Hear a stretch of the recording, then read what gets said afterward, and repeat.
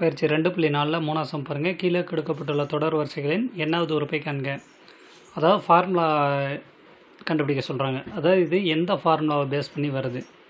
ஓகேவா ரெண்டு கமா அஞ்சு கமா பத்து கமா பதினேழு. அதாவது அந்த ஃபார்முலாவில் முதல் உறுப்புக்கு எண்ணுக்கு பதிலாக ஒன்றுன்னு அப்ளை பண்ணோமா ரெண்டு வரணும்.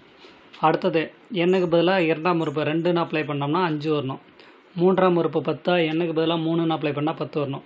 அந்த மெத்தடில் கண்டுபிடிக்கணும். இதுக்கு முன்னாடி ரெண்டாவது சம் போட்டிங்கல்ல அவனே ஃபார்முலா கொடுத்துருவான். அதில் முதல் நான்கு உறுப்புனா என்னுக்கு பதிலாக ஒன்று ரெண்டு மூணு நாலுன்னு கொடுத்து ஆன்சர் கண்டுபிடிச்சோம்.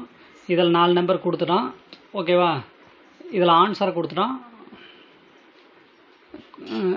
அதாவது முன்ன வந்து ஃபார்முலா கொடுத்துட்டு ஆன்சர் கண்டுபிடிக்க சொன்னாங்க. ரெண்டாவது சம்மில் இதை மூணாவது சம்மில் ஆன்சரை கொடுத்துட்டாங்க. ஃபார்முலாவை கண்டுபிடிக்க சொல்கிறாங்க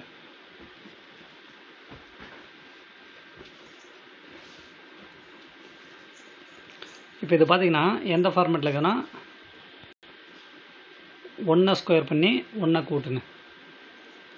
அடுத்தது ரெண்டை ஸ்கொயர் பண்ணி ஒன்றை கூட்டுங்க.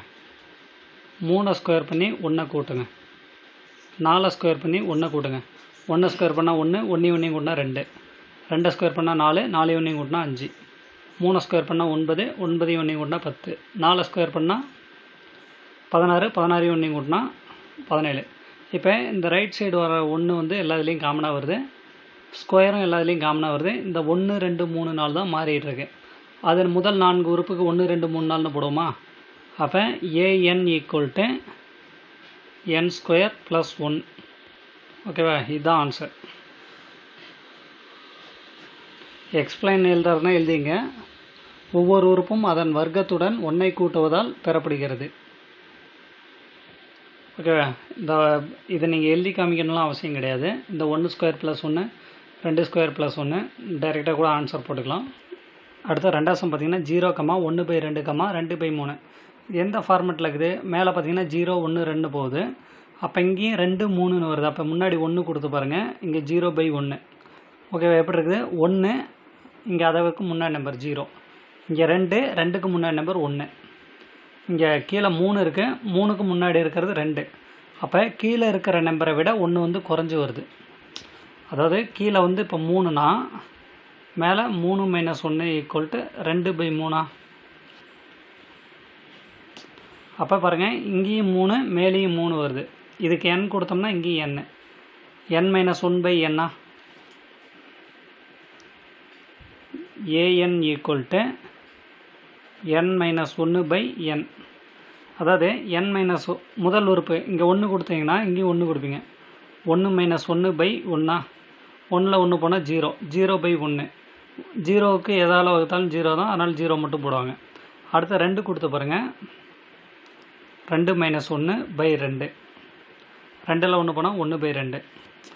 அடுத்த மூணு கொடுத்தோமா? மூணு மைனஸ் ஒன்று பை மூணு. ஓகே ரெண்டு பை மூணு வரும். அப்போ இதுதான் ஃபார்முலா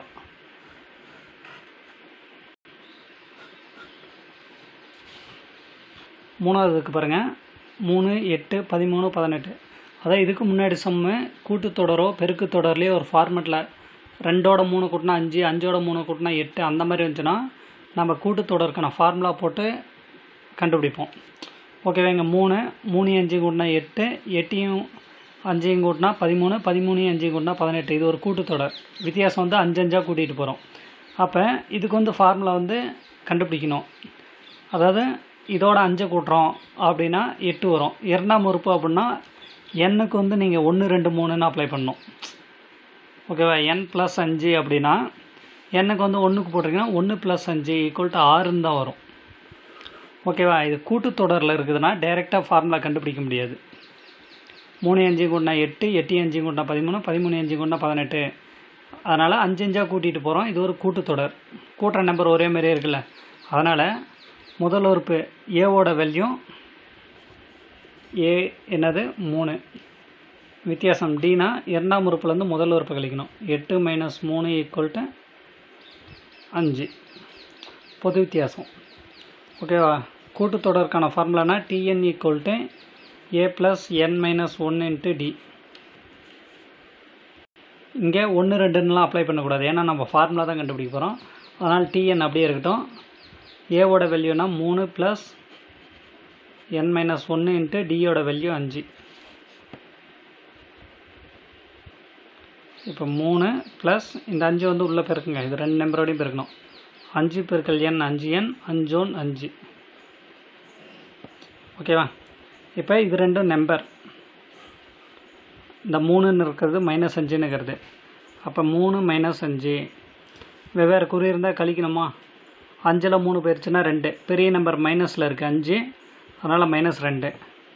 அப்போ அஞ்சு எண் மைனஸ் ரெண்டு. டிஎன் ஈக்குவல் டு அஞ்சு எண் மைனஸ் ரெண்டு. இதுதான் ஃபார்முலா இப்போ எண்ணுக்கு ஒன்றுன்னு அப்ளை பண்ணி பாருங்கள் அஞ்சு பெருக்கல் ஒன்று அஞ்சு ஒன்று அஞ்சு அஞ்சில் ரெண்டு போனால் மூணு. கரெக்டாக வருதா? அடுத்தது ரெண்டுன்னு அப்ளை பண்ண பாருங்கள் ஐ ரெண்டு பத்து பத்தில் ரெண்டு போனால் எட்டு. கரெக்டாக வருதா? அடுத்த மூணு மூவஞ்சு பதினஞ்சு. பதினஞ்சில் ரெண்டு போயிடுச்சுன்னா பதிமூணு. அடுத்த நாலஞ்சு இருபது. இருபதில் ரெண்டு போயிடுச்சுன்னா பதினெட்டு. இந்த சம்க்கு வந்து இந்த ஃபார்மெட்லேயே கூட போட்டுங்க